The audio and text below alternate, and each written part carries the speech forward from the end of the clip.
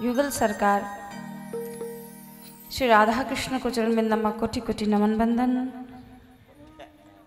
परम पूज्य सदगुरुदेव महाराज जी को चरण बिंदमा कोटि कोटि नमन। आमन्त्रित सम्पूर्ण देवी देवताको चरण बिन्दमा प्रणाम वन्दन सम्पूर्ण वरण भएर बस्नुभएका आचार्यगण गुरुगण सबैका चरणबिन्दमा नमन। सम्पूर्ण कलाकारगण आयोजक परिवार कर्ता परिवार टेलिभिजनको माध्यमले हामीले हेरेर बस्नुहुने भगवान्का भक्तहरू र यस कैलाशेश्वर शिव पञ्चायन मन्दिरको दिव्य प्राङ्गणमा श्री स्कन्द महापुराण कथालाई आनन्द लिन बस्नुभएका सम्पूर्ण कथा प्रेमी भागवत भक्तजन। हजुरहरू सबैका हृदयमा विराजित भगवान्लाई कोटि कोटि दण्डवत नमन गर्दै यस मञ्चको तर्फबाट सबैलाई प्रेमसहितको न्यानो अभिवादन। राधे राधे। राधे राधे। भगवान्को कथाको बडो सुन्दर दिव्य बसाइमा छौँ। आज यस सुन्दर कथाको दिव्य बसाई भगवान् शङ्करको सान्निध्यता पावन पवित्र भूमिको आनन्द। जीवनमा भगवान् नाम र भगवान् आज प्रगट उत्सवको साथमा हामीले दिउँसोको सत्रमा भारी उत्सव मनायौँ। र अहिले पनि केही क्षण भगवान् नाम लिन्छौँ अनि दिव्य भगवान्को कथामा गोता लगाउँछौँ। हामी प्रवेश गर्छौँ।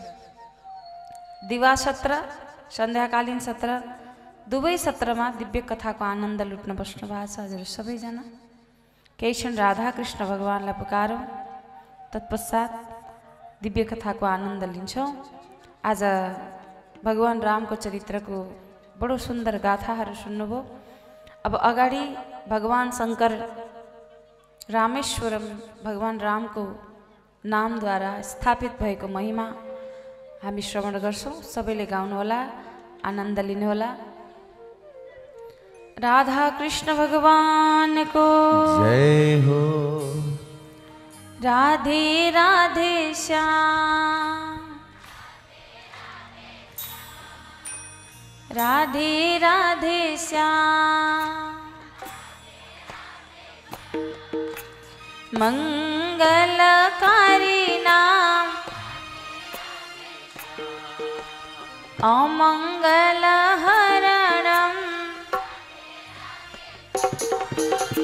मङ्गलकारी नाम। राधे राधे श्याम। राधे राधे श्याम। अमङ्गलहरणम् राधे राधे श्याम। अमङ्गलहरणम् राधे राधे श्याम। राधे राधे श्याम बोलो। राधे राधे श्याम। राधे राधे श्याम बोलो। राधे राधे श्याम। राधे राधे श्याम बोलो राधे राधे श्याम। राधे राधे श्याम बोलो राधे राधे श्याम। मङ्गलकारी नाम। राधे राधे श्याम। अमङ्गलहरणम् राधे राधे श्याम। सबैले मन्द मन्द ताली सेवा गर्ने।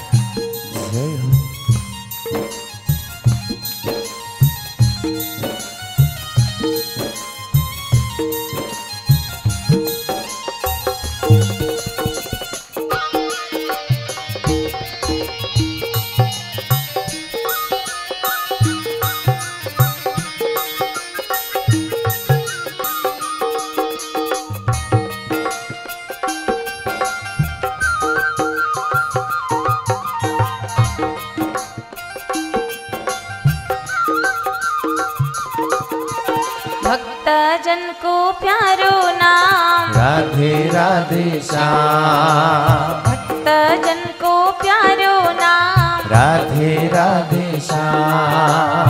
परम पवित्र नाम। राधे राधे श्याम। परम पवित्र नाम। राधे राधे श्याम।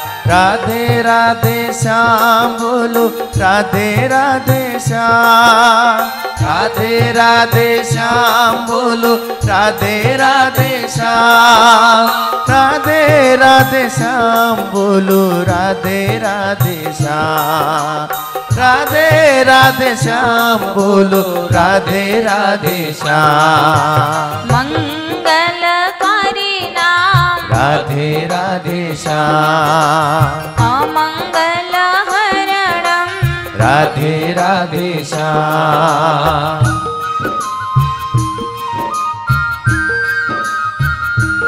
जय हो।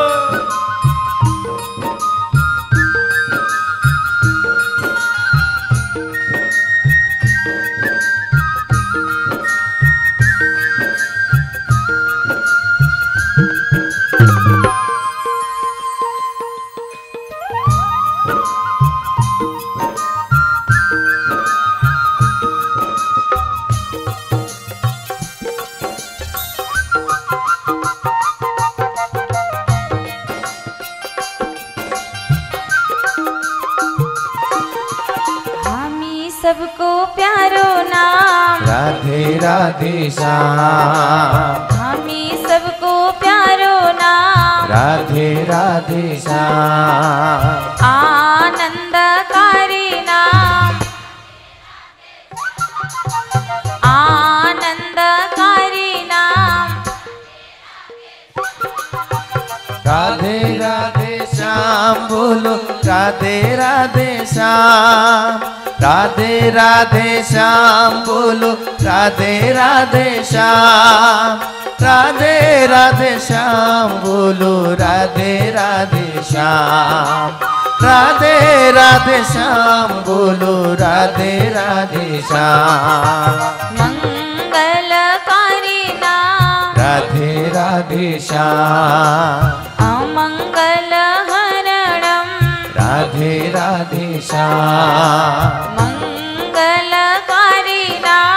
राधे राधे श्याम।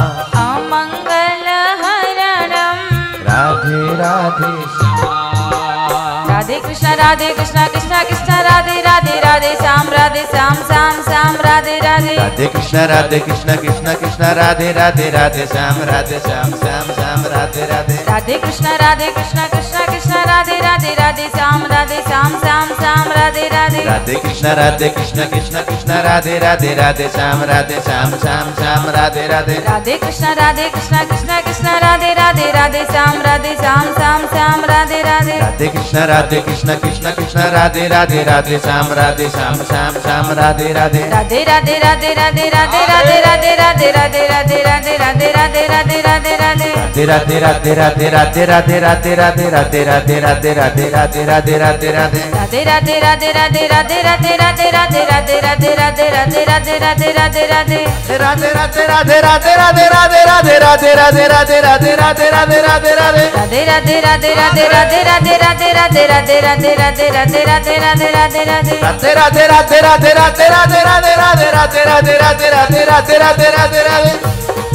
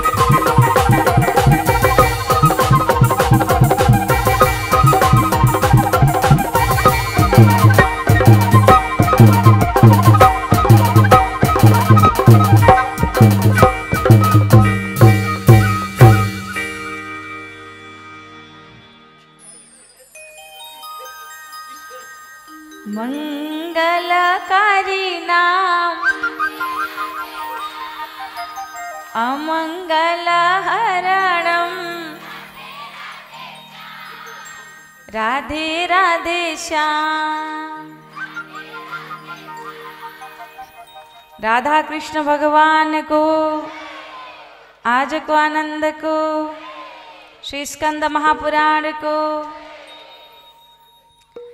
जीवनमा एउटा भगवान्लाई समातिहाल्नु रे के? बेलैमा। हाम्रो त धेरै भगवान् हुनुहुन्छ जसलाई समाते पनि हुन्छ। हजुरहरूको भावमा।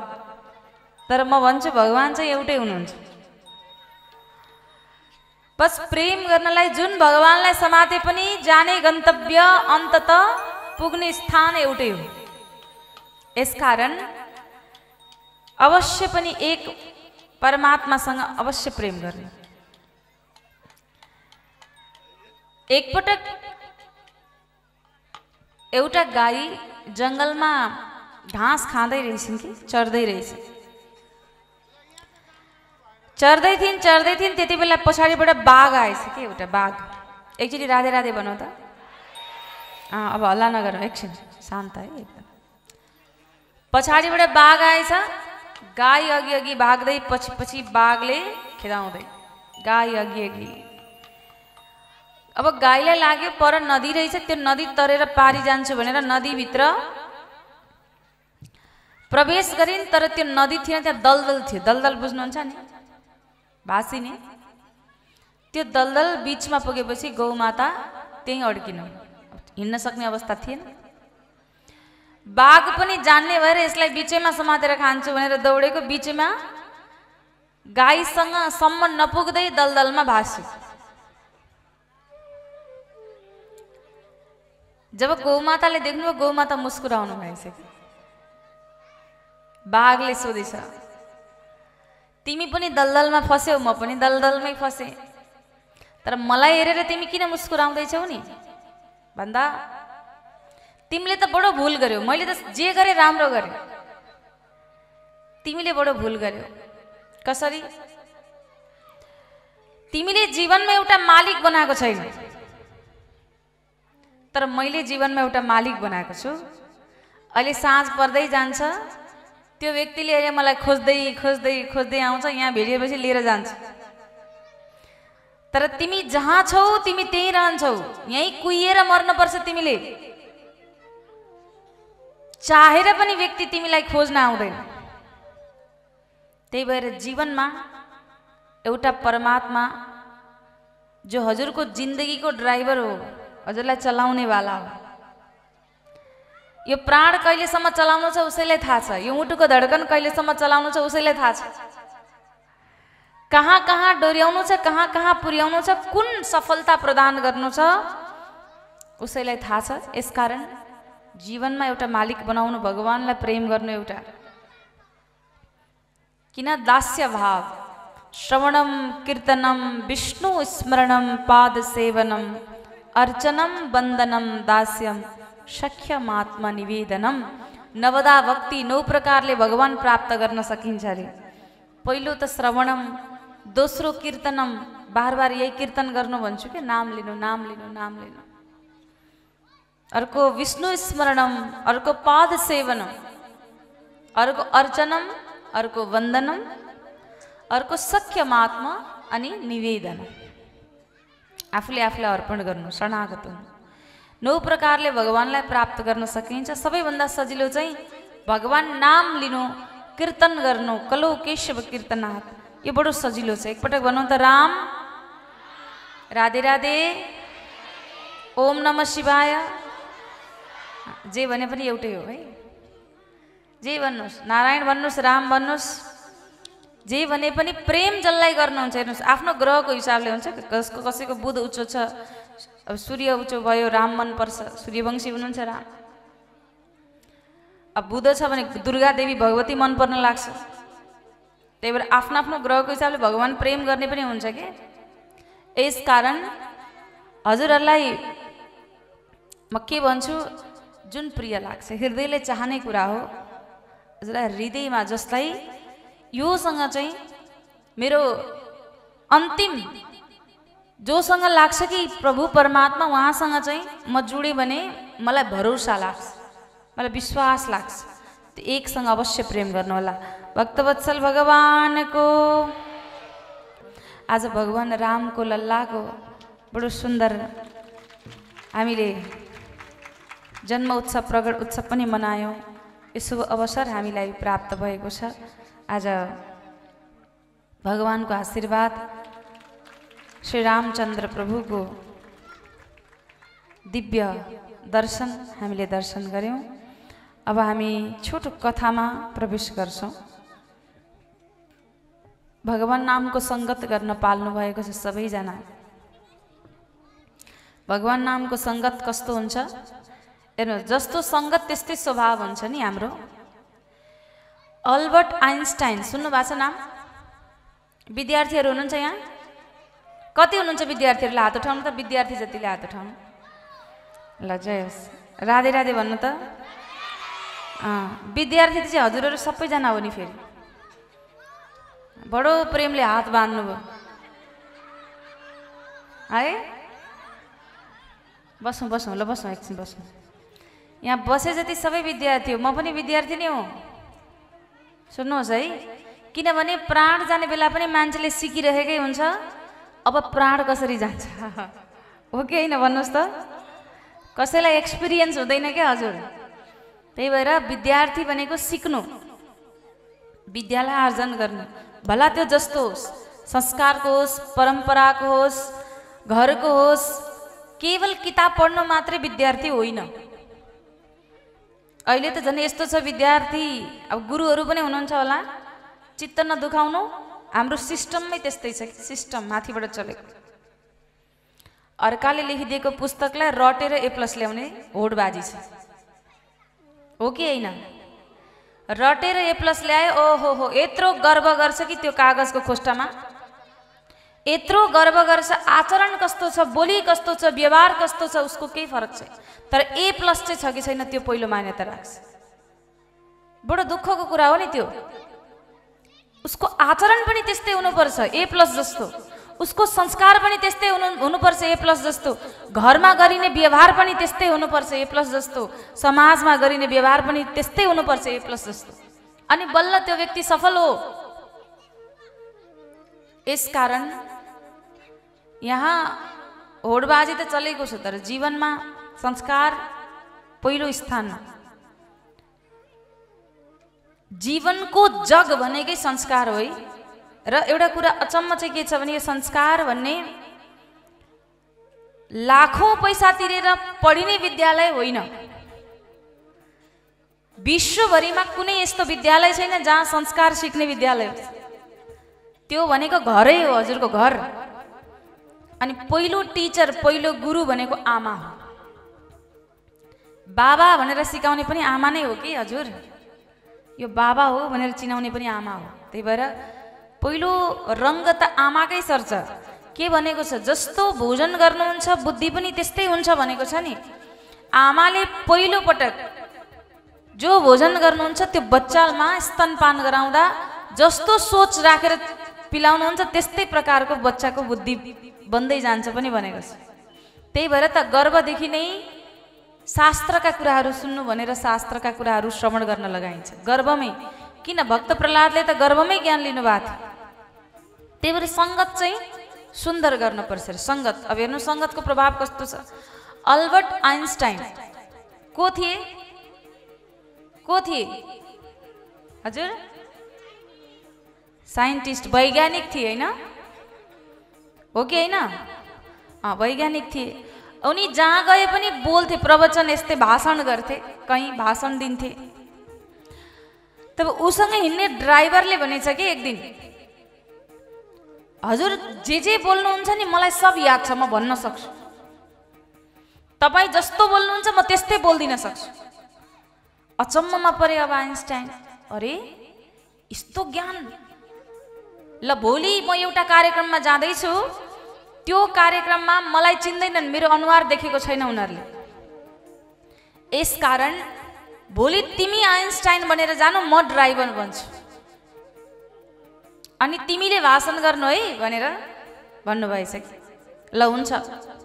भोलिपल्ट ड्राइभर आइन्स्टाइन बने आइन्स्टाइन ड्राइभर भए गए कार्यक्रममा। कार्यक्रममा गए भव्य स्वागत भयो। आइन्स्टाइन खुब प्रेमले बसेर सुन्दैछन्।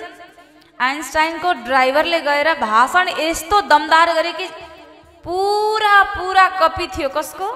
आइन्स्टाइन कसैले पनि थाहा पाएन। तब उत्रिए मञ्चबाट उत्रिएर गाडीतिर जाँदै थिए। एकजना व्यक्तिले फ्याट्टै क्वेसन सोधिदिए हेर्नुहोस् है। प्रश्न गरिदिए। अब अब प्रश्नको उत्तर ड्राइभरलाई त थाहा थिएन। जो आइन्स्टाइन बनेका थिए। तब उनले के भने सुन्नु है? सङ्गतको प्रभाव कस्तो हुन्छ सुन्नु।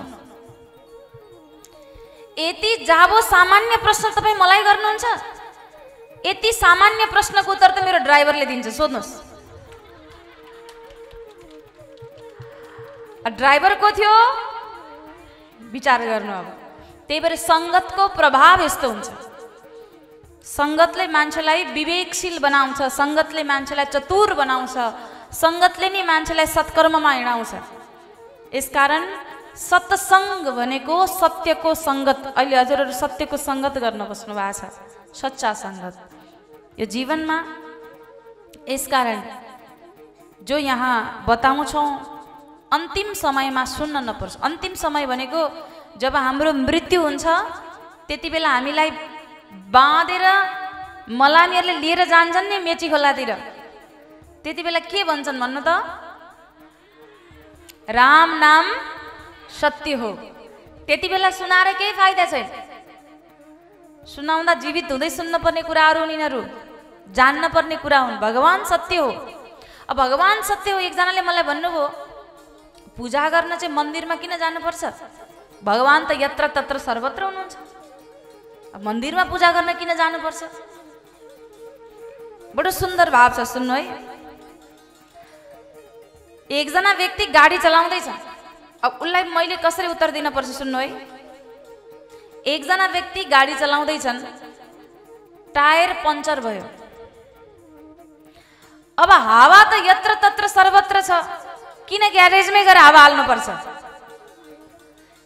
कुनै पनि चिजको एउटा स्थान हुन्छ जहाँबाट कनेक्सन भाइब्रेट भाइब्रेसन हाम्रो शरीरभित्र प्रवेश गर्छ भगवान्सँगको सामिप्यताले हामीलाई उनीसँगको प्रेम बढाउँछ। अब यहाँ बसेर राम राम भन्नु र उता मन्दिरभित्र बस्नुमा धेरै अन्तर छ नि हजुर। आँखाले देख्दा मात्र पनि हामीलाई लाग्छ कि यहाँ भगवान् हुनुहुन्छ। र खाली रोडमा बसेर भगवान् पुकार्दा त्यहाँ लाग्दैन नि भगवान् हुनुहुन्छ तर भगवान् त हुनुहुन्छ तर थाहा छ तर पनि लाग्छ कि मन्दिरमै हुनुहुन्छ। हो कि होइन भन्नुहोस् त? त्यस्तै हृदय कनेक्ट हुने घरमा पनि एउटा पोजिटिभ भाइब्स छोड्ने मन्दिर हुनुपर्छ। र मन्दिर कहिल्यै पनि हेर्नुहोस् आमाको लागि कोठा छ बुवाको लागि कोठा छ छोराको लागि छ छोरीको लागि छ नाति पनाति आउने पाहुनाको लागि छ भगवान्को लागि कोठा छैन घरमा। बडो दुःखको कुरा लाग्छ। जो त्यो घरको दरबारको मालिक हो उसको लागि घरमा पूजा कोठा हुँदैन। मान्छेको सिँढी मुनि हुन्छ कि कतिजनाको? देखाएको छु मैले। यति कुनामा कि भान्सामा यति यति दियो बाल्ने ठाउँ अलिकति। जसले सर्वस्व दिन्छ उसको लागि एकदम सामान्य ठाउँमा त्यो पनि सम्झेको दिन दियो बल्छ नत्र बिर्सिएको दिन छोडिदियो। कतिजनाको त त्यस्तो पनि देखाएको छु। भगवान् जो सर्वस्व हजुरको कमसेकम एक दीपक जल्दा पनि स्कन्द महापुराणमा मैले पहिलो दिन नै भनेको छु। भगवान्को अगाडि एक दीपक जल्दा पनि हजुरलाई पुण्य मिल्दछ भनेको छु। ती साना साना पुण्यहरू जोडिने हुन् कि हजुरहरूले साना साना कर्महरूबाट जोडिएर त हजुरको जीवन सुन्दर बन्दै जाने हो। यो गरेकै त हो नि। आमाले गर्नुहुन्थ्यो उसले गर्नुहुन्थ्यो। अझ त्यसमा पनि के भनेको छ?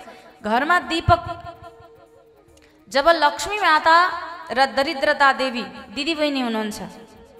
लक्ष्मी र दरिद्रता दिदी बहिनी दुवैले भगवान् नारायणलाई पति प्राप्त भनेर व्रत राख। लक्ष्मी माताले त भगवान् नारायणलाई वरण गर्नुभयो। दरिद्रता देवी पीपल को पिपलको वृक्षमा लगेर राखिदिनु। पिपल पनि भगवान् नारायणकै स्वरूप तब दुवै लक्ष्मी र दरिद्रतालाई भगवान् नारायणले वरदान पनि कि हर सन्ध्याको समय सन्ध्या भनेको कति बेला? साँझको समय। हर सन्ध्याको समय तिमीहरू दुवैजना प्रत्येक मनुष्यको घर घरमा जानु। जुन घरमा दीपक जलाएको छ दियो बालेको छ त्यो घरमा लक्ष्मी प्रवेश गर्नु। जुन घरमा अँध्यारो छ त्यसमा दरिद्रता प्रवेश गर्नु। अधिकार दिनुभएको छ। त्यही भएर साँझको समय भनेको लक्ष्मी आउने समय बनाउने कि दरिद्रता आउने समय बनाउने हजुरकै हातमा। अनि त्यसमा पनि कतिजनाले मलाई सोध्ने प्रश्नहरू जुठो परे बेला के गर्ने सुतक परे बेला के गर्ने माताजी? त्यो समय चाहिँ के गर्ने? मलाई एउटा कुरा भन्नुहोस् त घरमा कसैको मृत्यु भयो? त्यो मृत्यु भएको बेला मृत्यु भएको स्थान जो प्राण जो गएको छ छोराले छोराहरूले काजक्रिया गरेको ठाउँमा पनि दियो बाल्नुपर्छ हो कि होइन भन्नु मलाई? अलि जोडले भन्नु हो कि होइन? अँ। त्यहाँ चाहिँ दियो बाल्न हुन्छ। सुन्नु है अर्को कुरा पनि भन्छु सोध्छु म। घरमा कसैको मृत्यु भएको छ त्यति बेला हजुरहरूले एउटा पुराणको आयोजना गर्नुहुन्छ गरुड पुराण। हो कि होइन? तपाईँ पुराण आयोजना गर्नुहुन्छ हजुर। अनि भगवानको दरबार सुन्न सुन्न राख्न मिल्छ। हजुर क्रिया गरेर बस्नु भएको छ हजुरले गर्न मिल्दैन। तर घरमा कोही पाहुना त हुन्छ नि हजुर। जसलाई दीपक जलाउन लगाउन सकिन्छ। दियो बाल्न चाहिँ छोड्नै हुँदैन है यो कुरा कसैले पनि नबिर्सिनु सप्थो घन्टी शङ्ख बजाउनु हुँदैन फुल चन्दन टिका प्रसाद चढाउने भनेको पनि होइन। तर दीपक चाहिँ जलाउनु पर्छ। बुझ्नुभयो? घरमा पूजा गरेको ठाउँमा दीपक बाल्न चाहिँ छोड्नु हुँदैन। अन्धकार कहिल्यै पनि बनाउनु हुँदैन त्यो घरमा। जहाँ मन्दिर छ त्यहाँ अन्धकार बनाउनै होइन।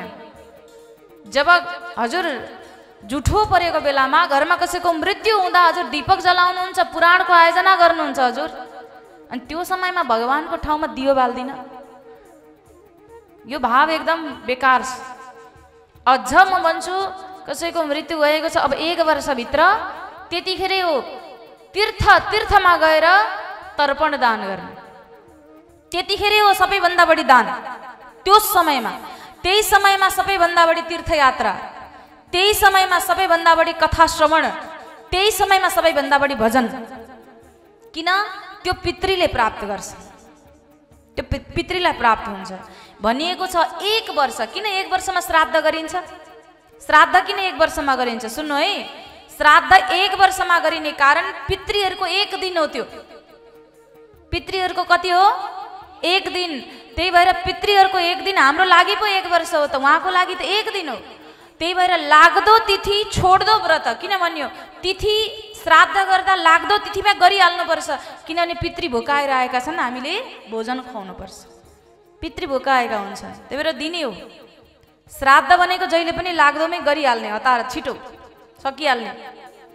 अब यहाँ व्रत चाहिँ छोड्दोमा गर्ने। वर्षको द्वादशी भेटेको होस् एकादशीले। त्यो समयमा गर्ने किन? भगवान् नारायणलाई त्यो प्रिय छ। हामीले स्कन्द पुराणमा श्रवण गऱ्यौँ तब यहाँ आज स्वयं म हजुरहरूलाई के बताउँछु? यो सुन्दर कर्म जो गर्दै हुनुहुन्छ यो भावमा जोडिनु भएको छ। जीवनमा सत्सङ्गत बडो सुन्दर गर्नुहोस्। जीवन एकचोटि प्राप्त गर्नु भएको छ। मनुष्यको जीवन हो। फेरि फेरि मिल्दैन। अर्को जन्ममा मान्छे बन्छु भनेर ग्यारेन्टी पनि छैन। अनि छोराले तार्देला छोरीले तार्देला भन्ने ग्यारेन्टी पनि नसम्झिनु। आफै आफै आफै कर्म गर्नु आफ्नो मुक्तिको बाटो आफै बनाउनु। समय मिल्यो माला लिनु जाप गरिरहनु। रुद्राक्ष माला छ तुलसी माला छ कमलगट्टाको दानाको माला छ। केही आउँदैन मन्त्र आउँदैन राम राम आउँछ राधा राधा आउँछ कृष्ण कृष्ण आउँछ। नारायण नारायण शिव शिव जे जे भन्नुहुन्छ भगवान् नाम लिन। केही गर्नु पर्दैन। बिहानको समयमा सूर्यलाई जल चढाइदिनु अर्घ चढाइदिनु तुलसीमा जल चढाइदिनु बिहान बेलुका दीपक जलाइदिनु। भगवान्लाई भन्नु प्रभु म न मलाई मन्त्र आउँछ न कुनै अर्चना आउँछ न वन्दना आउँछ तर म तपाईँको है। भगवान् नेपाली पनि बुझ्नुहुन्छ कि? बुझ्नुभयो नि? संस्कृतमै बोल्नु पर्दैन भगवान्लाई। भगवान् त मनको भाव बुझ्ने हो बोल्नु पनि पर्दैन। हजुर भित्र के चल्दैछ भगवान् त त्यो भावलाई स्वीकार गर्नुहुन्छ। यसकारण भगवान्लाई प्रार्थना गर्नुहोस् प्रभु। भला मेरो घर झोपडी किन नहोस् हजुर मेरो घरमा पनि आगमन होस्। म गरिब किन नहुँ तर पनि मैले जे अर्पित गर्छु त्यसलाई स्वीकार गरिदिनुहोस्। म प्रेम गर्न सकौँ भक्ति गर्न सकौँ र जीवनलाई जहिले पनि सत्कर्ममा लगाउन सकौँ। केही न केही छोडेर जाउँ यो संसारमा। लिएर जाने पाप र पुण्य हुन् त्यसमा पापको स्थानभन्दा बढी पुण्यको स्थान होस् भगवान्लाई प्रार्थना गर्नुहोला कृष्ण कन्हैयालालको आजको आनन्दको भक्त र भगवानको जय हो। हरि। हाम्रो घरमा आऊ है कनैया तिमीलाई जान दिँदैनौ हाम्रो घरमा आऊ है कन्हैया।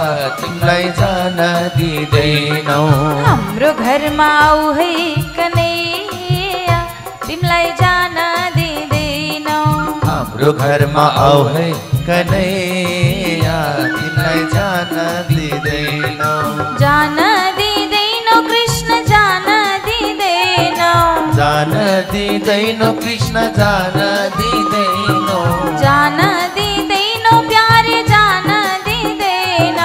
जान दिँदैनौ प्यारे जान दिँदैनौ हाम्रो घरमा आऊ है कनैया तिमीलाई जान दिँदैनौ हाम्रो घरमा आऊ है कन्हैया तिमीलाई जान दिँदैनौ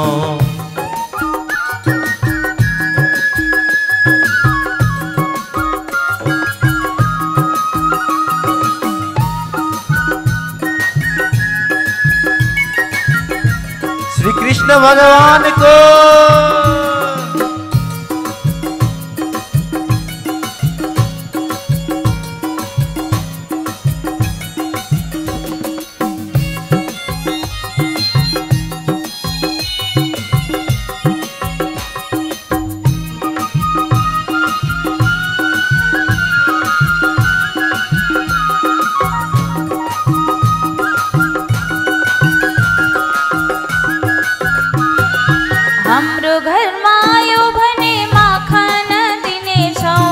हाम्रो घरमा आयो भने माखन दिनेछौ। हाम्रो घरमा आयो भने माखन दिनेछौ। हाम्रो घरमा आयो भने माखन दिनेछौ। माखन खाऊ है कनैया तिमीलाई जान दिँदैनौ। माखन खाऊ है कन्हैया तिमीलाई जान दिँदैनौ। जान दिँदैनौ जान दिँदैनौ कृष्ण जान दिँदैनौ जान दिँदैनौ प्यारे जान दिँदैनौ जान दिँदैनौ कृष्ण जान दिँदैनौ हाम्रो घरमा आऊ है कनैया तिमीलाई जान दिँदैनौ हाम्रो घरमा आऊ है कन्हैया तिमीलाई जान दिँदैनौ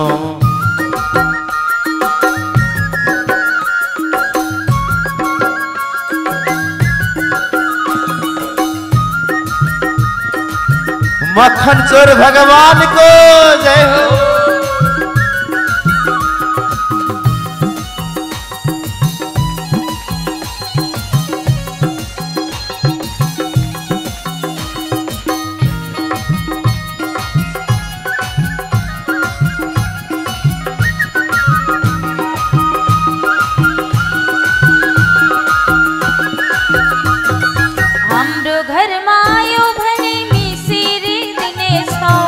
हाम्रो घरमा आयो भने मिसिरी दिनेछौ हाम्रो घरमा आयो भने मिसिरी दिनेछौ हाम्रो घरमा आयो भने मिसिरी दिनेछौ मिसिरी खाऊ है कनैया तिमीलाई जान दिँदैनौ। मिसिरी खाऊ है कन्हैया।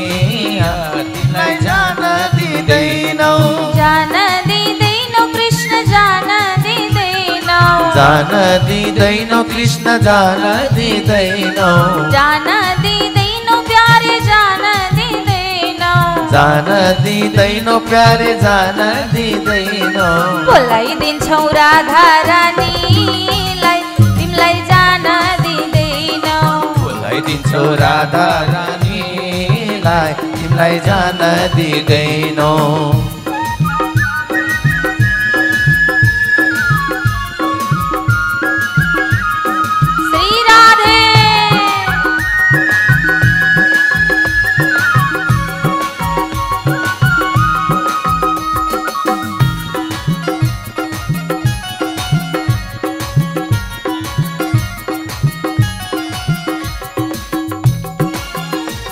राधा कृष्ण भगवान को जय हो।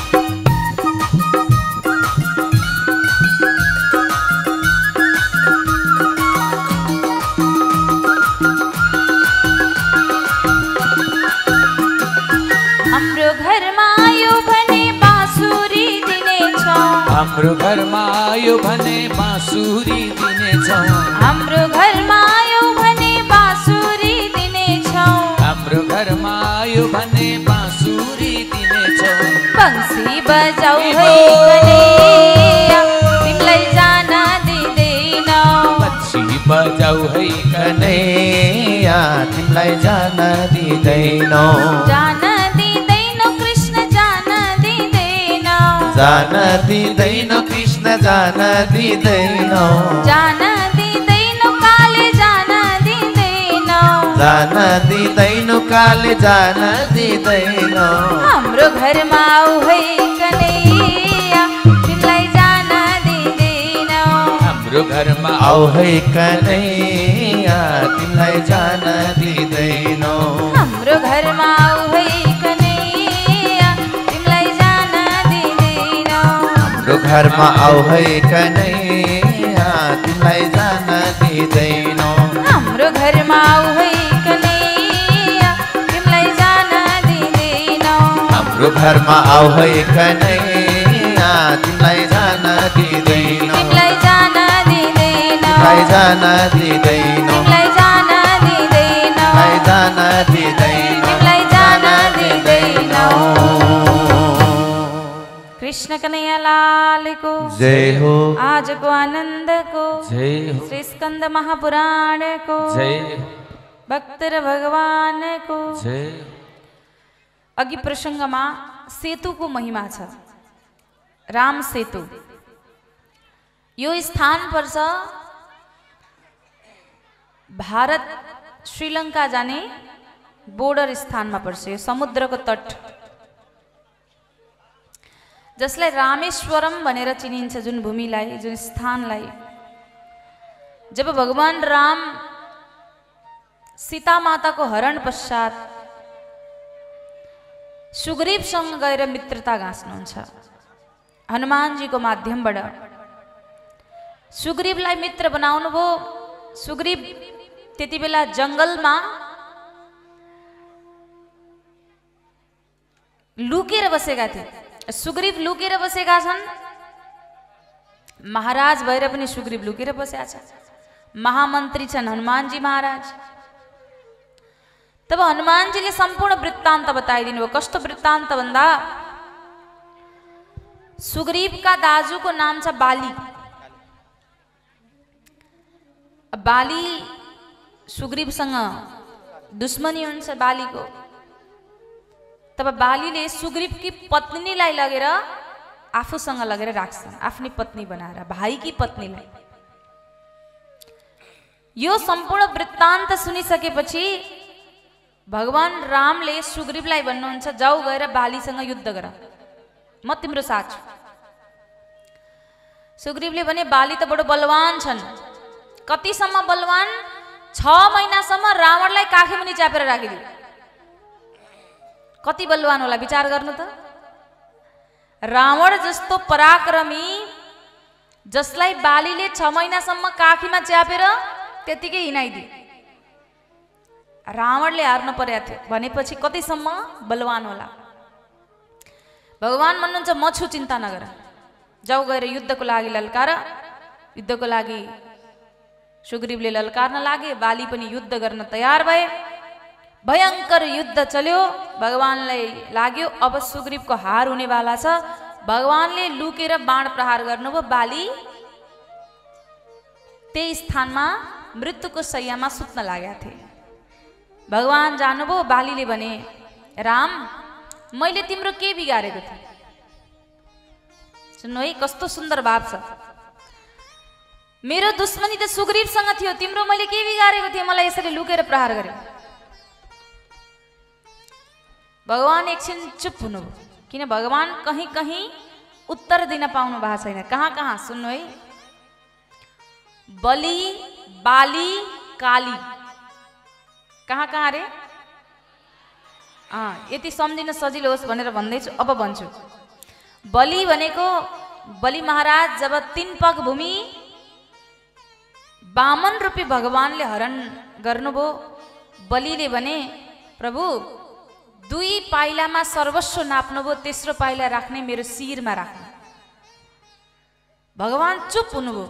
कस्तो महान भक्त होला कि शिरै लिएर जानुहोस् तपाईँ भन्न लाग्यो। उसलाई प्राणको रत्ती भएर पनि भए भएन कि म मर्छु होला मलाई के होला? यत्रो विशाल पगले मेरो शिरमा थिचिँदा म के हुन्छ होला? त्यो उसले सोचेन कि केवल भन्यो कि मेरो शिर तपाईँको लागि मैले अर्पित गरिदिएँ। तेस्रो पग राख्ने स्थान। भगवान चुप हुनुभएको थियो त्यति बेला। बलि महाराजले उत्तर दिँदा अर्को बाली आज। बालीले भने ए राम तिम्रो मैले के बिगारेको थिएँ? के बिगारे मैले तिम्रो? र म मलाई लुकेर प्रहार गर्यो। मेरो दुश्मनी त सुग्रीवसँग पो थियो त। भगवान् एकछिन त चुप हुनुभयो त भगवान्ले उत्तर दिनुभएको छ यहाँ बडो सुन्दर भावसँग। आफ्नी आमा दाजुकी श्रीमती भाइकी श्रीमती आफ्नी बहिनी दिदी जो छन् यी सब आमा समान छन् रे। को समान रे? यहाँ आफ्नै श्रीमती भन्नुभएको छैन नि फेरि? के भन्नुभयो? दाजुकी श्रीमती? भाइकी श्रीमती? आफ्नी आमा? र आफ्नो दिदी बहिनी को समान छन् रे?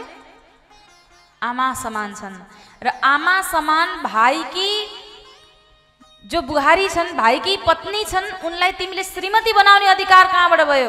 यस्तालाई त बाँच्नु बेकार छ मार्नु उचित छ भनेर मैले बाण प्रहार गरिदिएँ यसरी भगवानले बाण प्रहार गर्नुभयो बाली चुप भए। र तर पनि बालीको एउटा इच्छा थियो। प्रभु म बडो धन्य रहेछु कि भगवान् रामको हातबाट मेरो मृत्यु हुँदैछ। रावणलाई पनि यो कुरा थाहा थियो हेर्नुहोस्। रावणलाई पनि थाहा थियो कि रामको हातबाट मृत्यु भयो भने मेरो उद्धार हुन्छ। रावणलाई पनि थाहा थियो यो कुरा। बालीले पनि के भने म बडो धन्य छु आज रामको हातबाट मेरो मृत्यु हुँदैछ तर प्रभु मेरो एउटा इच्छा पुरा गरिदिनु। के इच्छा? यो जन्ममा तपाईँले मलाई लुकेर प्रहार गर्नुभयो नि। अर्को जन्ममा मैले तपाईँलाई लुकेर प्रहार गर्न सकौँ। भगवान्ले भन्नुभयो तथास्तु कृष्ण रूपमा आउँदा व्याधा रूपमा बाली पैदा भयो। र भगवान् जब चरणमाथि चरण राखेर वृक्षमा सुत्नु भएको थियो भगवान्को सोधाम गमन हुने बेला त्यही व्याधाले बाण प्रहार गर्यो र भगवान्को चरणमा लाग्दा भगवान् सोधाम गमन यो धरती छोडेर जानु। भगवान्ले इच्छा पुरा गरिदिनु भएको थियो। र अर्को तेस्रो काली पहिली बलि दोस्रो बाली अब तेस्रो काली हो। काली भनेको को? भगवान् कृष्ण जब बाल लीला गर्दै हुनुहुन्थ्यो वृन्दावन धाममा त्यहाँ एउटा दह छ कालीय दह। हजुर वृन्दावन जानुभएको छ? कोही जानुभएको छ? ल यहाँ एकजना मात्रै यहाँ बुवाले हात उठाउँदै हुन्छ म गएको छु भन्ने। कोही हुनुहुन्न यहाँ अगाडि। श्री वृन्दावन धामको त्यो धाम यस्तो छ कि गएपछि आउने मन लाग्दैन कि फेरि? बडो प्यारो छ। अब श्रीधाम वृन्दावनमा एउटा दह छ कालीय दह। त्यो कालीय दहमा एक नाग बस्थ्यो कालीय नाग। त्यो कालीय नाग त्यहाँ बस्थ्यो र के गर्थ्यो? विष बमन गर्थ्यो। अब सर्प सर्पभित्र के हुन्छ? विषै हुन्छ। जे छ त्यही बमन गर्छ। तब भगवान् एक दिन गाई चराउँदै चराउँदै जानुभएको त्यहाँ पुगेपछि गौमाताले त्यो जल पिएर सबै गौमाताको मृत्यु भयो? भगवान्लाई क्रोध आयो। गाईलाई त म आमा मान्छु। मेरो आमाको मृत्यु म कसरी सहँ? भगवान्ले श्रीदामा नाम गरेका सखासँग भकुण्डो खेल्दै खेल्दै भकुण्डो पानीमा हालिदिनु। जानी जानी। श्रीदामा भन्न लाग्यो मेरो मेरो त्यो भकुण्डो फिर्ता देऊ फिर्ता देऊ। भगवान्ले यही मौका हो भनेर पानीमा छलाङ लगाएर पुग्नुभयो कालीय नागको दरबार। कालीय नाग सुतिरहेको थियो कालीय नागका पत्नीहरूले देखे ओहो यस्तो सुन्दर बालक। अहिले हाम्रो स्वामीले देख्यो भने एक गाँसमा निल्छन् यिनलाई। यिनलाई त यहाँबाट भगाइहाल्नुपर्छ भनेर ए बाबु तिमी फर्किहाल गइहाल जाऊ यहाँबाट। अहिले हाम्रो स्वामीले थाहा पाउनुभयो भने तिमीलाई एक घाँसमा सबै सखा पारिदिनुहुन्छ। बरु यो नवलाखको हिराको हार छ यो तिमीलाई उपहार भए लिएर जाऊ। भगवान्ले यति जोडसँग बोल्नुभयो नि म तिमीहरूलाई खोज्दै आएको होइन तिम्रो पतिलाई नै खोज्दै आएको भनेर यसरी बोल्नुभयो कि पतिदेव जो थिए कालियनाग निद्रा टुट्यो। फनले बेर्न लाग्यो। विशाल नाग फनले बेर्न लागेपछि भगवान्ले सोच्नुभयो यही मौका हो भनेर शरीरलाई यति विराट रूपमा प्रदर्शित गरिदिनु भयो कि कालियो नागका नसा नसा टुट्न लागे।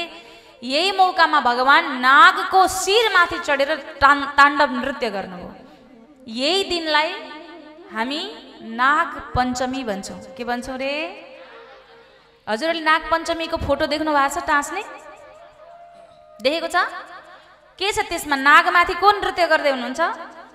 भगवान् कृष्ण। अनि छेउछेउमा कसले प्रार्थना गर्दैछ नागका पत्नीहरू। प्रार्थना गर्दैछन् प्रभु छोडिदिनुहोस्। अब त छोडिदिनुहोस् हाम्रो पतिदेवलाई। धेरै नाच्नुभयो भने अहिले पतिदेवको प्राण जान्छ। प्रार्थना गर्दैछ। हेर्नुहोस् तब भगवान्ले भन्नुभयो नाच्न त छोडौँ तर यसको बुद्धि अझै ठिक भएको छैन।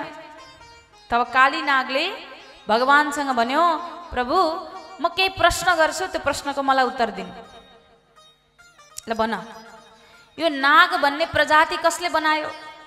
भगवान् भन्नुभयो मैले. यो नागमा रिसा भन्ने प्रवृत्ति कसले बनायो? भगवान् भन्नु मैले. नागमा विष भर्ने काम कसले गर्यो? भगवान् भन्नु मैले. त्यसो मेरो के गल्ती छ? म भित्र अमृत भरेको भए अमृत निस्किन्थ्यो त? अब विषय भरेपछि विषय निस्किन्छ। भगवान् चुप हुनुभयो स्तब्ध हुनुभयो। तब भन्नुभयो त्यसो भए ठिक छ। यो दह भनेको मेरो गौमाताको लागि पानी पिउनको लागि उपयुक्त छ। तिमी यहाँ नबस तिमी रमणक नाम गरेको द्वीपमा गएर बस। तर प्रभु हजुरको गरुड जो छ नि गरुड त्यसले मलाई देख्यो कि मारिहाल्छ। भगवान्ले भन्नुभयो त्यसो भए त्यो रमणक द्वीपमा गरुड नजाने बनाइदिन्छु तिमी त्यहीँ गएर बस। भन्नुभयो र स्थान परिवर्तन गराउनुभयो त्यो जललाई शुद्ध गराउनुभयो र मृत भएका गौमातालाई जीवित गराउनुभयो भगवान्ले यसकारण तिनवटा स्थान छ जहाँ भगवान् चुप हुनु पर्यो अरे बोल्नै सक्नु भएन। तब सुग्रीवलाई भन्नुभयो तिम्रो त मैले समस्या समाधान गरेँ अब मेरो समस्या समाधान गर। मेरी पत्नी हराएकी छन्। खोज्दै जाँदै थिए जटायुसँग भेट भयो। जटायुले भनेको रावण भन्ने दैत्यले यता दक्षिण दिशातिर लगेको छ अरे। त्यसो भए चिन्ता नगर्नु मेरो हनुमान छ नि यो मन्त्री। यिनले खोजेर आउँछ। हनुमानजी जाँदै हुनुहुन्थ्यो जाँदै हुनुहुन्थ्यो। समुद्रको तटमा पुग्नुभयो। जाम्बवन्त लगायतका बानरहरू छन्। बार बार जय श्री राम जय श्री राम जय श्री राम उच्चारण गरिरहे गरिरहे। छेउमा एउटा गिद्ध बसेको रहेछ गिद्ध। त्यो गिद्ध चाहिँ जय श्री राम जय श्री राम सुन्ने बित्तिकै उसको भए जति सबै प्वाख भुइँमा झरेको थियो पलाउन थाल्यो। तब अचम्मित भए। तब गिद्धले भन्यो वर्षौँदेखि म भोको थिएँ तपाईँहरूलाई आहार बनाउँछु भनेर बसेको थिएँ तर तपाईँहरूले राम राम उच्चारण गर्दा मेरो शरीरमा त्यो प्वाखहरू फेरि पलाउन थाले। यस कारण। हजुरहरू को हुनुहुन्छ मलाई भन्नुहोस्? भन्दा सम्पूर्ण वृत्तान्त हनुमानजीले बताइदिनु भयो जाम्बवन्तले बताए। तब म जटायुको दाजु। जटायु र मैले एकपटक सूर्यलाई भेट्ने भनेर दौड लगाएँ सूर्यनारायणलाई। अब सूर्यनारायणलाई भेट्नलाई दौड लगाएको म छिटो उड्न सक्थेँ। उनी अलि ढिलो। उनी त तलै पछाडि भए म धेरै अगाडि जाने भएको। सबै सूर्यको किरणले मेरो प्वाखहरू जलेर भस्म भए म यहाँ आएर लडेँ। मैले भगवान्लाई बडो प्रार्थना गरेँ। तब भगवान् स्वयंले मलाई कृपा वर्षाउनु भयो कुनै दिन भगवान् रामका भक्तहरू यहाँ आउँछन् र जय श्री राम जय श्री राम उच्चारण गर्दा तिम्रो शरीरमा प्वाखहरू पलाउनेछ र फेरि प्वाख आएर तिमी उड्न सक्ने हुनेछ। तब हनुमानजीले सम्पूर्ण वृत्तान्त बताउनु भयो भगवान् रामकी पत्नीलाई यतैतिर कसले लिएर आएको छ रावणले। गिद्धले भन्छ कि म त यहाँबाट देखिरहेको छु।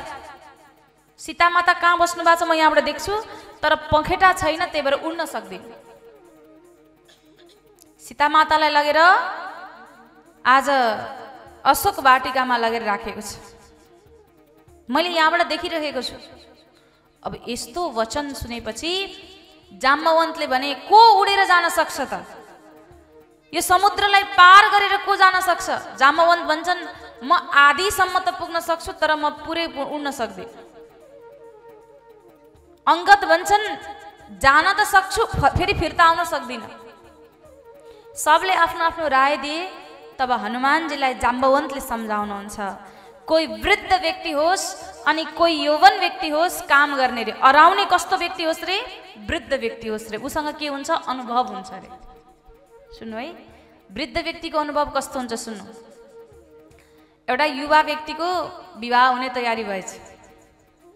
विवाहको लागि जहाँ जन्ती जान तयारी हुँदै थियो उता। बेहुली पक्षको बुवाले भनेछन् कोही वृद्ध व्यक्तिलाई ल्याउने होइन है। सब युवा हुनुपर्छ जन्तीमा। वृद्ध कोही पनि नआओस्। वृद्ध कोही आयो भने बिहे क्यान्सल हुन्छ। अब हल्ला भयो केटा पक्षमा। वृद्ध नलगिकन कसरी हुन्छ? सबैजना वृद्ध कोही नजाने भए तर मामा घरको हजुरबा जो हुनुहुन्थ्यो उहाँले मान्नु भएन। म त जाने हो मेरो नातिको बिहेमा। जान त जाने कसरी जाने? त्यसो भए हजुरबालाई लुकाएर लगौँ। एउटा बडी मानको त्यो भाँडा ल्याए त्यही भाँडाभित्र लुकाए लगे लिएर गए। उहाँ पुगे पहिले बेहुलीको बुवाले परै रोक्नुभयो बाटोमा। जाऊ गएर हेर कोही वृद्ध आएको छ कि छैन? गए छानबिन भयो हेरे कहीँ वृद्ध देखिएन। कोही आएको छैन महाराज। त्यसो भए एक शर्तमा बिहे हुन्छ अब। कस्तो शर्त? ऊ त्यहाँ छेउमा एउटा खोला बग्दैछ नदी बग्दैछ। त्यो नदीमा पानीको सट्टा दुध बगाउनु पर्यो। तब गएर बिहे हुन्छ भनिदिनु जाऊ।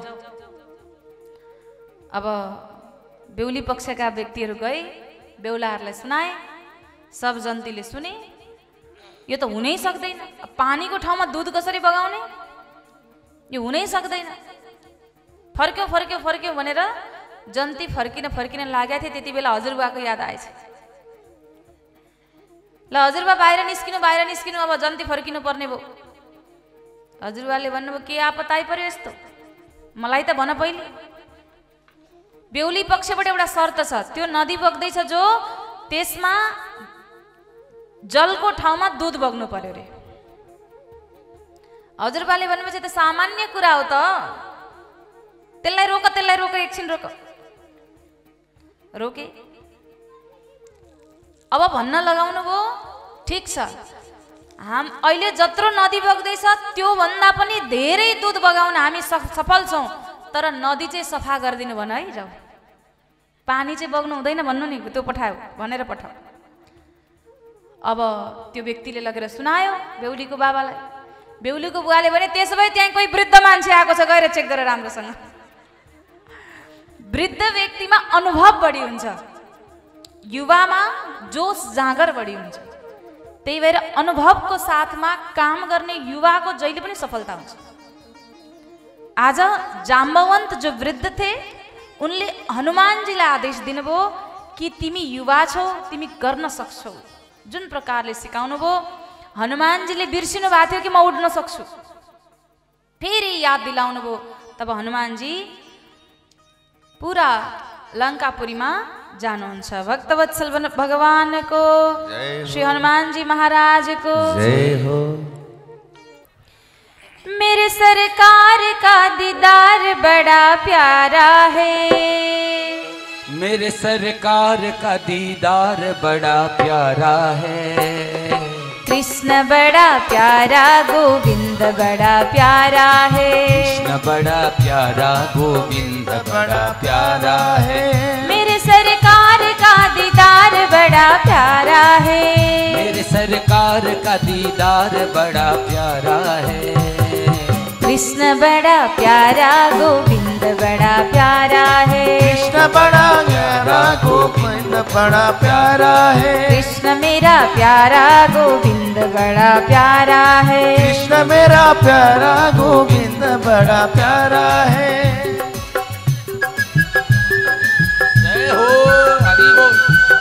बोल ताली को सेवा करने वाला ही।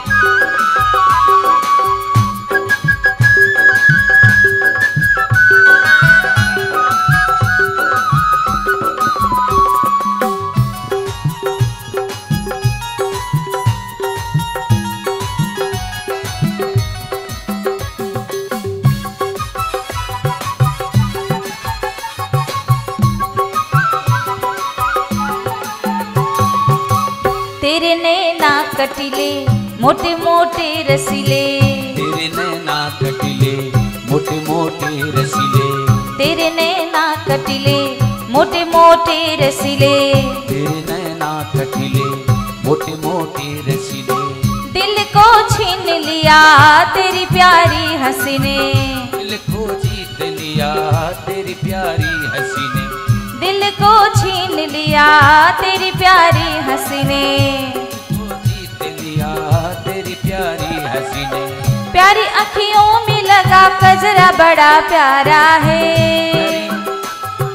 कजरा बड़ा प्यारा है।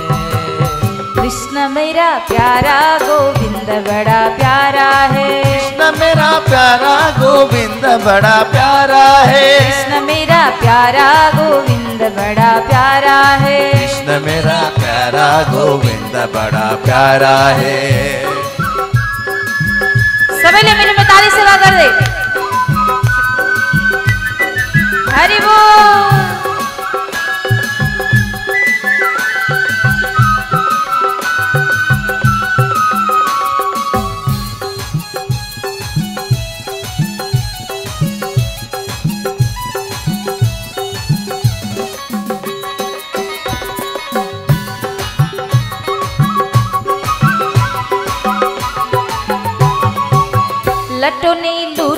लिया जिगर घायल है किया। ने लूट लिया जिगर घायल है किया। लट ने लूट लिया जिगर घायल है किया। लटो ने लूट लिया जिगर घायल है किया। तेरी प्यारी अदा ने मुझे बेचैन किया। तेरी प्यारी अदा ने मुझे बेचैन किया। तेरी प्यारी अदा ने किया। तेरी प्यारी अदा ने मुझे बेचैन किया। मेरे सीने में तेरा दर्द बड़ा प्यारा है। मेरे सीने में तेरा दर्द बड़ा प्यारा है। कृष्ण मेरा प्यारा गोविंद बड़ा प्यारा है। कृष्ण मेरा प्यारा गोविंद बड़ा प्यारा है। कृष्ण मेरा प्यारा गोविंद बड़ा प्यारा कृष्ण बड़ा प्यारा गोविंद मेरा प्यारा है। बोले गोविंद भगवान को। जय हो।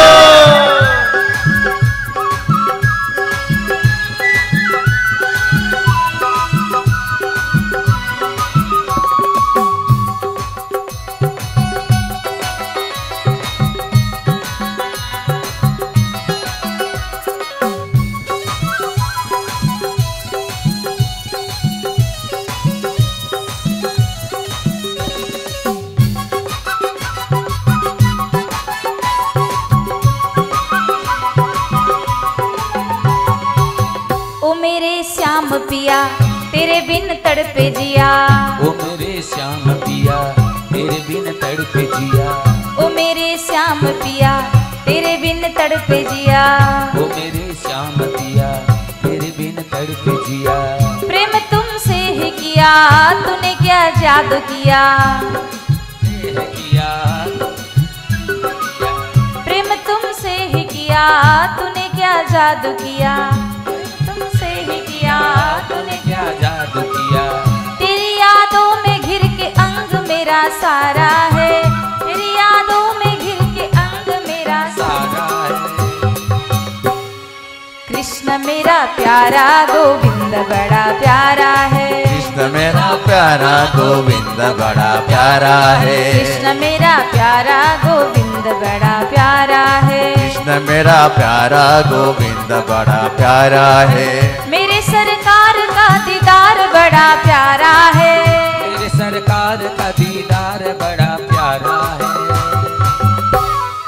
कृष्ण मेरा प्यारा गोविंद बड़ा प्यारा है। कृष्ण मेरा प्यारा गोविंद बड़ा प्यारा है। कृष्ण मेरा प्यारा गोविंद बड़ा प्यारा है। कृष्ण मेरा प्यारा गोविंद बड़ा प्यारा है। कृष्ण मेरा प्यारा गोविंद बड़ा प्यारा है। कृष्ण मेरा प्यारा गोविंद बड़ा प्यारा है। कृष्ण मेरा प्यारा गोविंद बड़ा प्यारा है। कृष्ण मेरा प्यारा गोविंद बड़ा प्यारा है। कृष्ण कन्हैया लाल की जय हो। आजको आनन्द की। जय हो। आउनु सब थोरै प्रसङ्गलाई सुनेर दिव्य झाँकीमा अनि हामी प्रवेश गर्छौँ त्यसरी हनुमानजी पुग्नुहुन्छ लङ्कामा लङ्का दहन गरेर फर्किनुहुन्छ सीता मातालाई भगवान् रामको सङ्केत रूपी औँठी प्रदान गर्नुहुन्छ अनि सीता माताले पनि शिरमा लगाएको सिलफुल दिएर भेटेको निशानी प्रदान गर्नुहुन्छ। भगवान् रामले जब देख्नुभयो तब युद्धको लागि प्रस्थान गर्नुहुन्छ तब समुद्रको तटमा भगवान् शङ्करलाई पुकार्नुहुन्छ विशाल शिवलिङ्गको स्थापना गर्नुहुन्छ र शिवलिङ्गमा पूजन गर्नुहुन्छ रुद्राभिषेक गर्दै बडो प्रेमसँग समुद्र देवलाई प्रार्थना गर्दै भगवान् शङ्करसँग प्रार्थना गरेर भन्नुहुन्छ हे भोलेनाथ म रावणको उद्धार गर्न जाँदैछु। विशाल युद्ध हुँदैछ। हजुरले मलाई कृपा गर्नुहोस्। भगवान् शङ्कर स्वयं दर्शन दिन आउनुभयो। भगवान् राम बडो प्रसन्न हुनुहुन्छ र भगवान् रामले स्थापना गरेको कारण त्यो शिवलिङ्गको नाम रामेश्वरम। राम भगवान् र ईश्वर स्वयं महेश्वर र राम मिलेर रामेश्वरम जो स्वयं भगवान् हरि र हरको प्रतीकको रूपमा रहेको छ र भनिएको छ जो कोही पनि रामेश्वरममा राम सेतु क्षेत्र समुद्रको तटमा जो जो समुद्रमा त्यहाँ गरी स्नान गर्दछ दर्शन गर्दछ भने कल्पौँ कल्पसम्म पनि यो पृथ्वीमा जन्म लिन पर्दैन उसलाई रामको शरण या शङ्करजीको शरण प्राप्त हुन्छ। बडो सुन्दर पुण्य बताइएको छ। यसरी राम सेतुको महिमा यहाँ वर्णन गरिएको छ। योभन्दा अगाडि शालिग्रामजीको महिमा छ। हजुरहरूलाई घरमा शालिग्रामजी राख्नु भएको छ? छ? एकदम गर्वले राख्नुहोस् है। विश्वमा एउटा मात्र देश हो जहाँ शालिग्राम प्रकट हुनुहुन्छ। यही भूमि हो नेपाल जहाँ दामोदर कुण्ड भगवान् नारायणको नाभि भनिन्छ दामोदर कुण्डलाई। त्यहाँबाट झरेको जल बग्दै बग्दै काली गण्डकी बनेर तल आउँदाखेरि त्यहाँबाट बग्दै आउने पत्थर साक्षात् भगवान् नारायणको प्रतीक शालिग्राम। कोही चक्र अवतार कोही सुदर्शन अवतार कोही शङ्ख अवतार कोही अनेक अनेक अवतारको रूपमा त्यहाँ हामी प्राप्त गर्न सक्छौँ। पहिले पहिले त सुन मिसिएको चाँदी मिसिएको पनि प्राप्त हुन्थ्यो। अहिले दुर्लभ भइसकेको छ। बडो दुर्लभ छ। तर शालिग्रामजी हेर्नुहोस् शङ्करजीको पूजन गर्न शालिग्रामजीको पूजन गर्न बडो सजिलो छ। शङ्करजीलाई जल चढाइदियो बेलपत्र चढाइदियो भइगयो। शालिग्रामजीलाई जलले स्नान गराइदियो तुलसी दल चढाइदियो भइगयो। कति सजिलो केही गर्न पर्दैन है। जलले स्नान गर्ने बेलपत्र चढाइदिने शङ्करजीलाई। अनि पत्थर रूपमा फेरि शालिग्रामजी जलले स्नान गराउने तुलसी दल चढाइदिने तुलसी पत्र बडो प्रिय छ यति भए पुगिहाल्छ यसकारण जसले शालिग्रामजीको सेवा गर्नुहुन्छ उहाँलाई नारायण चरण प्राप्त हुन्छ सम्पूर्ण पापहरू मेटिन्छन् भनेर वर्णन गरिएको छ। अगाडि नर्मदेश्वर शिवलिङ्गको महिमा बताइएको छ नर्मदा नदीको जलमा शिवलिङ्ग बगेर आउनुहुन्छ। हजुरहरूलाई थाहा छ? कतिजनालाई थाहा छ? सुन्नु भएको छ यो कुरा? ल एकजना बुवाले बल्ल सुन्नु भएको रहेछ। नर्मदेश्वर शिवलिङ्ग हेर्नुहोस् है यसको महिमा छ। यो महिमालाई जोडेर अनि हामी झाँकीमा प्रवेश गर्छौँ।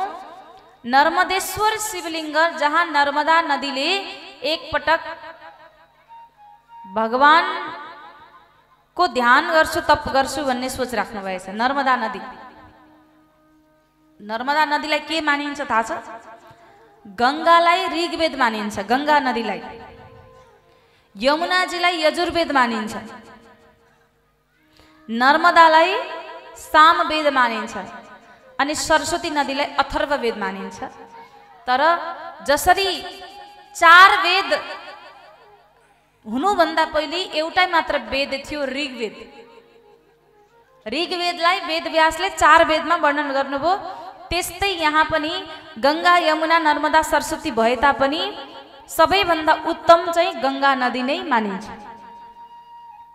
तर सुन्नु है तर स्कन्द महापुराणमा नर्मदा नदीको महिमा कति धेरै बताएको छ। नर्मदा नदी जहाँ शिवलिङ्ग बग्दछिन् नर्मदा नदीले ब्रह्माजीको तपस्या गर्नु। ब्रह्मदेव आउनुभयो अनि भन्नुभएछ मलाई गङ्गा यमुना नर्मदा सरस्वती यी चार नदीमा मलाई गङ्गा भन्दा पनि उत्कृष्ट बनाइदिनु त। ब्रह्माजी भन्नुहुन्छ म सक्दिनँ। के गर्नु त? काशी जानु काशीमा गएर तपस्या गर्नु। काशी आउनुभयो नर्मदा। स्वयं काशीमा आएर भगवान् शङ्करको तपस्या गर्नुभयो भोलिनाथको।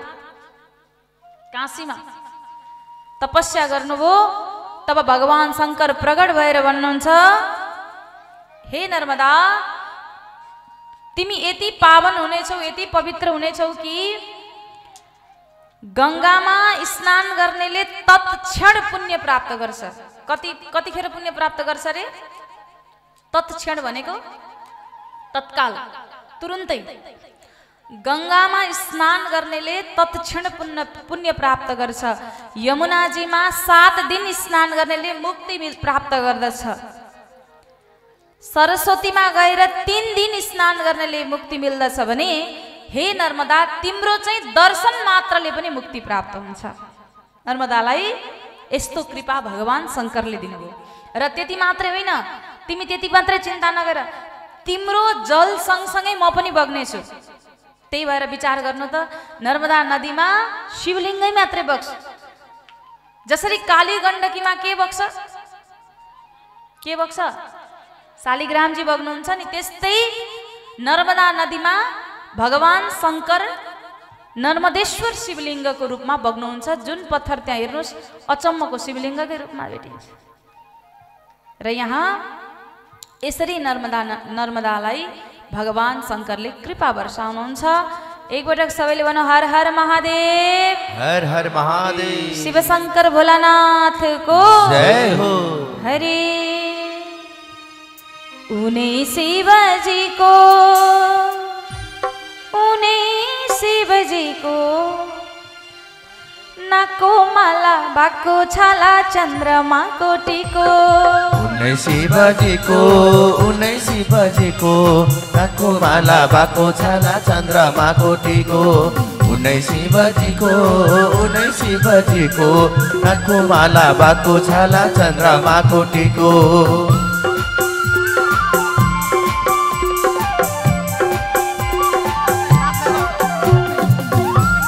कैलाशपति भोले बाबाको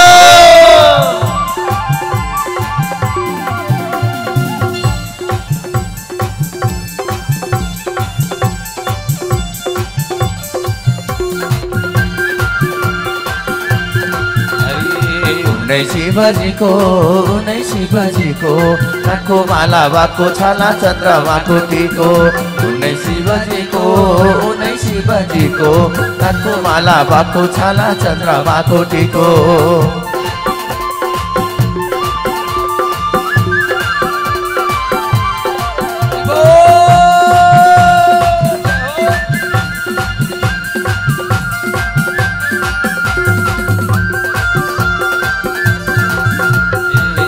शिवजीको उनै शिवजीको काको माला बाको, छाला चन्द्रमा कोटीको उनै शिवजीको उनै शिवजीको काको माला बाको, छाला चन्द्रमा हरि हरि नाको माला बाको, छाला चन्द्रमा हरि हरि नाको माला बाको, छाला चन्द्रमा कोटीको हरे शिव भनना।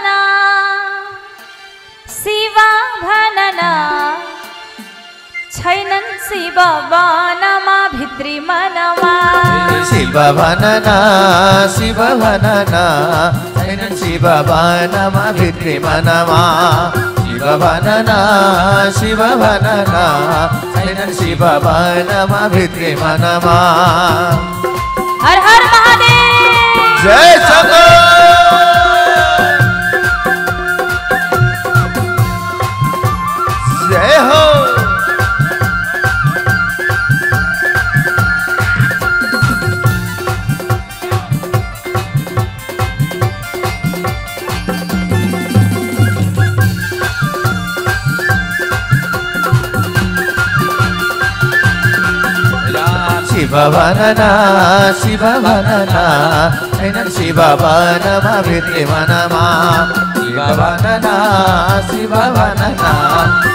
शिव भनमा भित्री मनमा बोले शिव शंकर भगवान को। जय हो!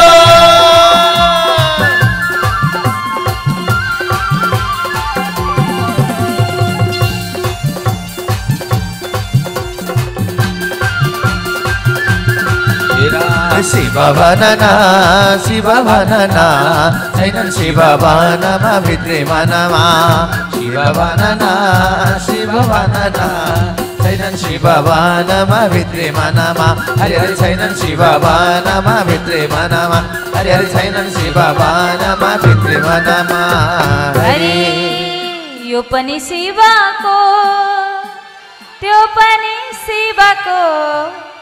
सारा संसार शिवको मै पनि शिवको पनि शिवको त्यो पनि शिवको सारा संसार शिवको हामी पनि शिवको त्यो पनि शिवको त्यो पनि शिवको सारा संसार शिवको हामी पनि शिवको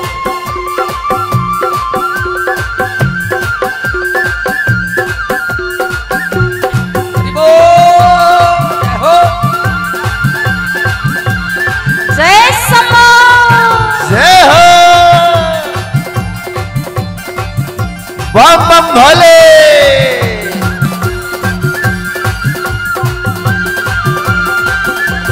मेरा ऊपर शिवको यो पनि शिवको सारा संसार शिवको है पनि शिवको यो पनि शिवको त्यो पनि शिवको सारा संसार शिवको है पनि शिवको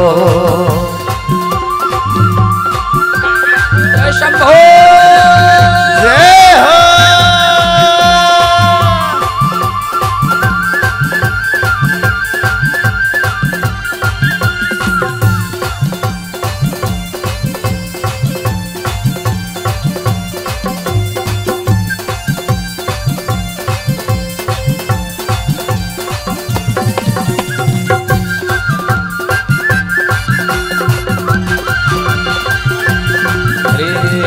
पनि शिवको त्यो पनि शिवको सारा संसार शिवको हामी पनि शिवको यो पनि शिवको त्यो पनि शिवको सारा संसार शिवको हामी पनि शिवको हरि हरि सारा संसार शिवको हामी पनि शिवको हरि हरि सारा संसार शिवको हामी पनि शिवको पशुपतिनाथ भगवानको जय हो कैलाशेश्वर महादेवको जय हो। आजको आनन्दको जय हो। हर हर महादेव। देव शंभो